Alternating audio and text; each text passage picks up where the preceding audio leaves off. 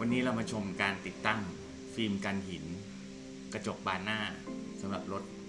นะครับรถที่เขารักนะครับ ก็คือคันนี้เป็น Aston Martin Vintage นะครับ Vantage ก็ติดหนึ่งบานครับ โดนหินสองครั้งหรือครั้งเดียวแล้วกระจกไม่แตกก็ถือว่าคุ้มค่านะครับ แต่ถ้าติดไปแล้วคิดว่าใช้ปกติ แล้วใบปัดน้ำฝนปัดทุกวันไปเรื่อยๆ อันนี้ไม่ทนทานนะครับ ฟิล์มพวกนี้ ยังไม่เคยเห็นยี่ห้อไหนทนอึดถึกเลยครับ ใช้ได้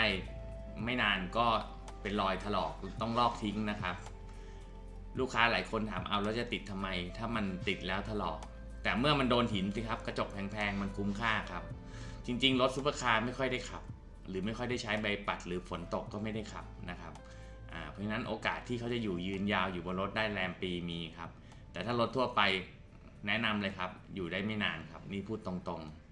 ราะฉะนั้นก็ราคา 8,000 บาทครับสำหรับการกันความเสี่ยงกระจกแตกนะครับ เปิดใบปัดให้น้อย มันก็จะถลอกน้อย ขูดขีดมากก็มีโอกาสเป็นรอยมากขึ้น เพราะฉะนั้น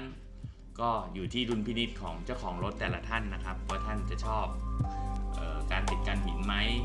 อย่างน้อยรถแพงๆท่านไม่ต้องมาแกะกระจกหรือกระจกแตกนะครับ ก็ต้องคิดเอาว่าคุ้มค่าสำหรับรถแต่ละคันหรือไม่